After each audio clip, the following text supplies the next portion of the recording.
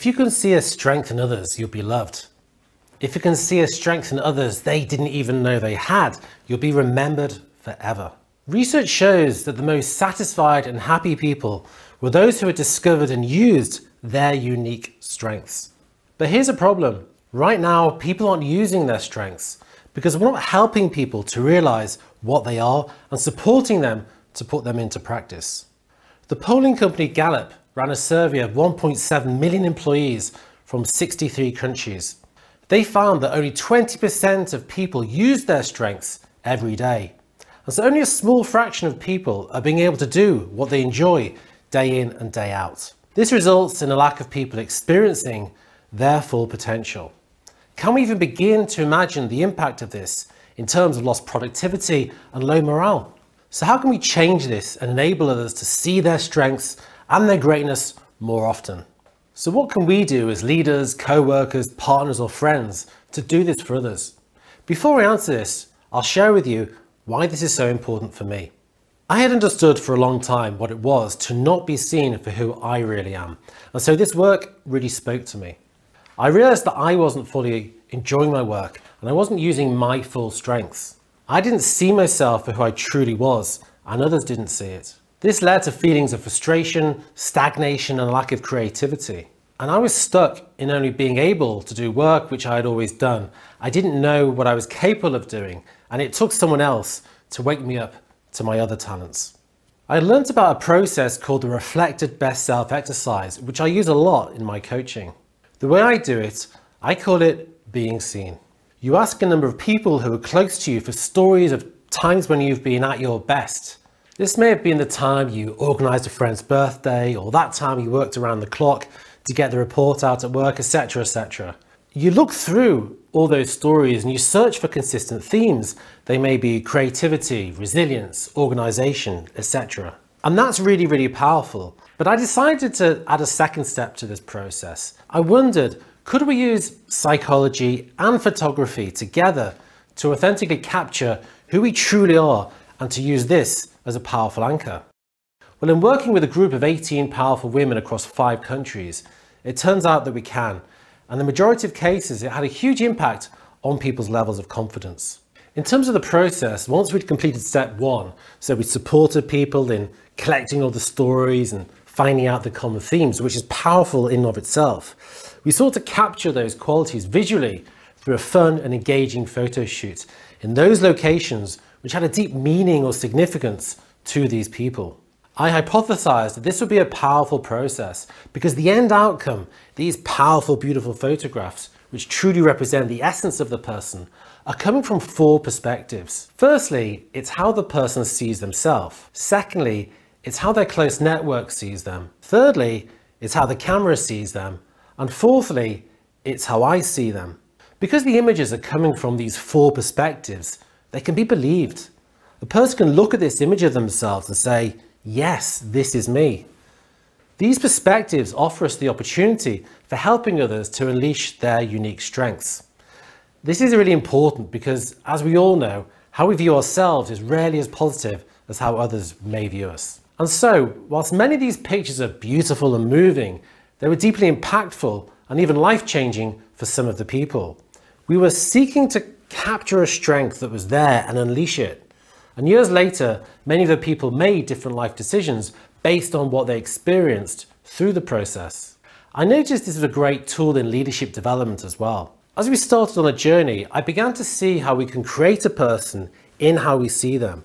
We can think about this simply. When we view somebody positively or negatively, we then unconsciously look for evidence to back up this view. As I began to choose how I saw each person according to their strengths, opportunities kept arising for them to show up or be seen in this way. In short, we began to change reality. When I was looking for a particular quality, we found it. And this is the key lesson that I learned from this entire process. That if we see or create someone in a particular way, they can start to live into this reality. Often I or the camera would sometimes pick up a personal quality that they had not even seen in themselves. And we started to amplify this more and more and more, looking out for and accentuating the unique qualities. From time to time, I would say things like, Can you see this quality? Or can you see play? Or can you see creativity coming out? With Ambika, for example, we were able to reconnect her to her sense of play, that part of her which she had loved the most, but which had disappeared in recent years. With Eva, it was reconnecting her to her own sense of power, creativity, and style, which as a new mum were strengths she had begun to disconnect with. The same is true in leadership. If we can help another person identify and own their own innate strengths, they'll begin to see opportunities to powerfully use this. If you correctly identify someone as, let's say, a creative, he'll be bolder to express his creativity in a highly creative marketing campaign.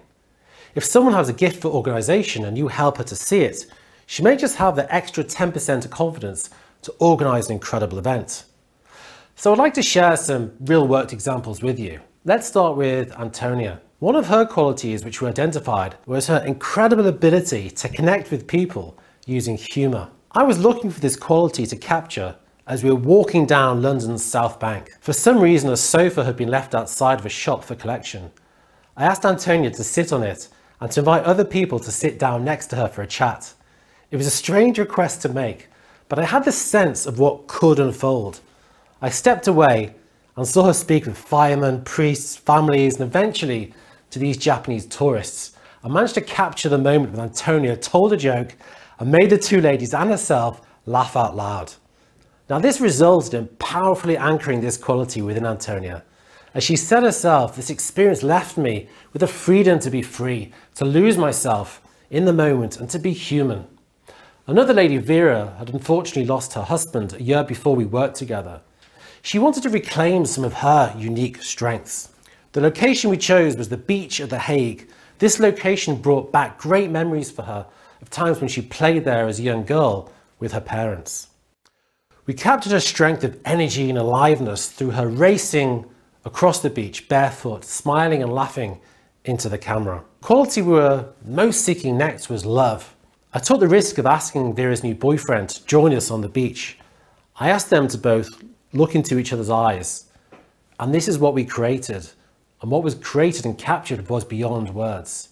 These images, as with many of the ladies, served as a powerful reminder of their greater strengths. Years later, Vera said that this moment, this project made me step up for a next stage. Be courageous and firmly on my feet again.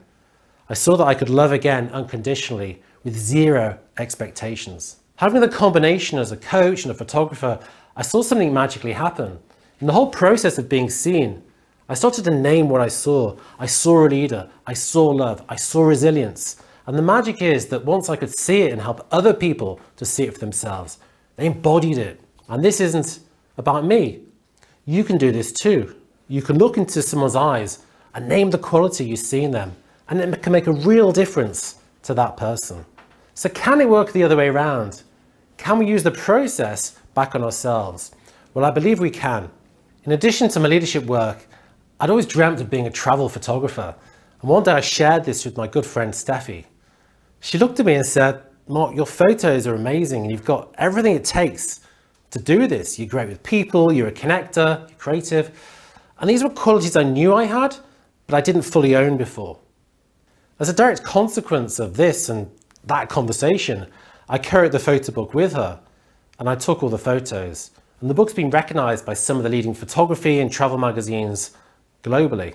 Now, I had had no formal photography training, I'd had zero travel writing experience.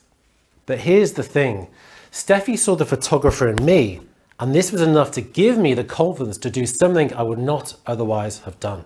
So can we see ourselves through a different lens with someone else's help? Yes, we can. If there's one thing I really want you to take away from this talk, it is how to see and create someone in a new way. For me, photography was a powerful tool. How you help others to discover and embed their strengths is entirely up to you. For example, empathic listening, creative challenges, conversations, exercises, games whatever you decide to do, most importantly, it's about identifying the strengths and finding the opportunities to reinforce them. So just to make it simple, I recommend six steps. Be clear, this isn't about you. Empty your mind and be totally focused on the other person. Ask the other person for examples of times when they've been at their best, when they've been at their greatest. As part of this, ask them to gather this data from trusted family, friends, and colleagues. Help the other person to look for the themes like we've discussed. Offer your own take on some of their strengths. Anchor it within them. Find the right words to powerfully convey to the person so they really get it. Like with photography, this stage is about helping the other person to see it and own it for themselves. Finally, reinforce. Find a way to help the person to use these strengths as soon as possible. This will strengthen the strengths. Whichever method you use, help the person to create memorable experience whilst using their strengths so they can always be remembered and called upon when required. Be aware of the power we all have to change others' reality in an instant. The deepest need we all have is to be seen. And so, what if today you could see someone you know through a fresh lens and help them to see something in themselves they have not seen before?